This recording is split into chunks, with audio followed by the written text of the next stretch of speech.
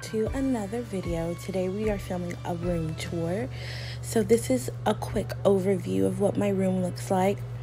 This is also an ensuite, so I'll be showing you not just my bedroom, but also my bathroom and how I style it. I don't know what you would say my style is. Um, I don't think it's minimal yet, but it, I'm trying to go there, you know. So this is my bathroom. My soap dispenser and that little bowl is from um, Target. The charcuterie, I don't, it's not a charcuterie board. I keep wanting to call it a charcuterie board because that's what I use it for. But the little um, swivel tray is a gift. Everything on the tray is basically gifted. My bath mats are from Ross. My shower curtain is from Ross. Um, I'll try to link where everything is down below. this is the front door.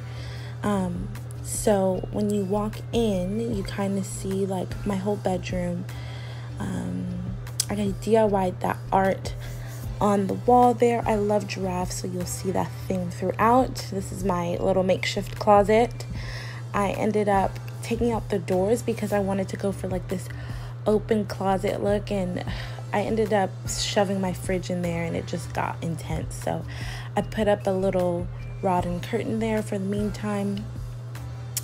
My bedside tables and my bed frame are from Wayfair, but they're not like a set. I had to buy them separately, but they they look like a set. Um, and my comforters and my pillows all from Ross. The big fluffy one is a gift actually. So we move over to the other side of my bed, and I have a hanging plant which is from Ross, and um, the mirror which is from Ross. And um, I'm just showing you my windows. I have two big windows in my room, and they let in so much natural light. I absolutely love it and um, my plants. Uh, leave some comments down below because I don't have names for them and I need names for my plants to make them more personal, but they get a lot of love. I love them. And then I call this like my reading corner. Um, sometimes I do work in this chair. This chair has been in our family for such a long time, but the throw is from Urban Outfitters. I love it. It's super comfortable and soft.